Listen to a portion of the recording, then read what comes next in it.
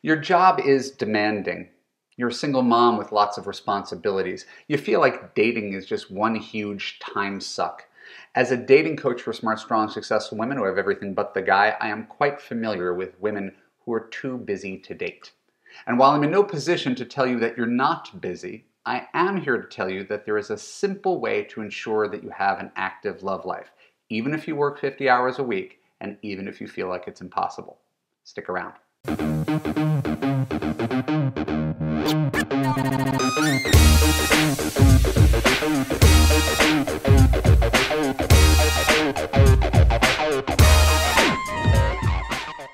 Evan Marc Katz, dating coach for smart, strong, successful women and your personal trainer for love. Welcome to the Love U podcast. Keep listening to learn how to date if you're super busy. When we're done, I'll let you know how you could apply to Love U to create a passionate relationship that makes you feel safe, heard, and understood. So, you're a busy woman. There's no denying it, not trying to talk you out of it, not trying to minimize the life that you've built for yourself. And I'm not going to stand here and tell you that you should quit your day job to find love, that you should stop working out to find love, or you should hire a nanny to take care of your kids while you go on Tinder. That is not the point of this video. Everything is possible if you prioritize it and make it important to you. It all depends on what you value most and what's going to get you the most happiness in the long run. So most people stop dating not just because they don't have time, but because they actually hate dating. Let me know if that rings a bell for you. If working makes you money, and working out keeps you fit, and reading a book helps you relax, what does dating do except disappoint you and frustrate you and depress you? So it's usually not that there's no time for dating, it's that you have limited time and if you have limited time, you always find something that you like to do better. I get that. But what's the result of that?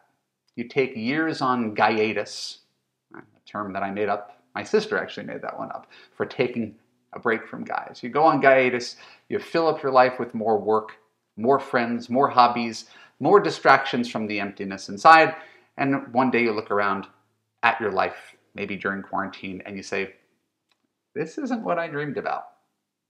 And so all I'm asking you to do today is to be a long-term rather than a short-term thinker.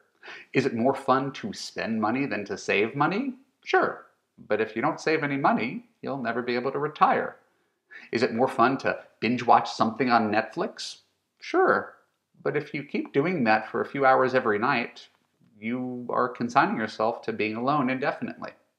So here's what I tell women who are in Love U when they reach week seven, which is the time that we start to talk about online dating.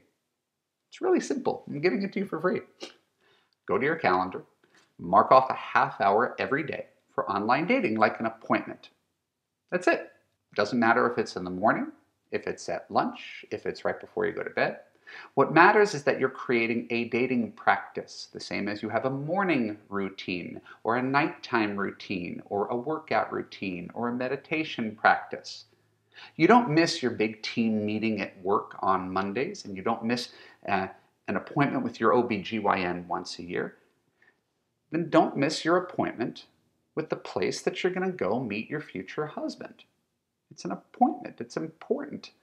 And if you can't give love a half hour a day, what that tells me is that you don't want it bad enough to find love and that you're perfectly content being alone because it's easier, which is okay. But if you're willing to give love a half hour a day, the same way you give work 10 hours a day, right, you are poised to transform your love life with consistency. Now, if you're if you're saying, okay, I'm willing to give that time, but I don't know what to do, well, that's what Love U is for. I'm Evan Katz.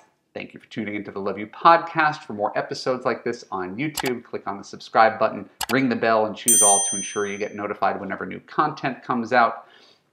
If you're listening on the audio podcast, please share an honest review on Apple. More reviews equals more awareness of the Love U podcast and more love in the world. And if you want to find love right now and are committed to making healthier choices with men so you can have an easy relationship that makes you feel safe, heard, and understood, look for the link below and apply for coaching with me in Love U. I'll talk to you soon.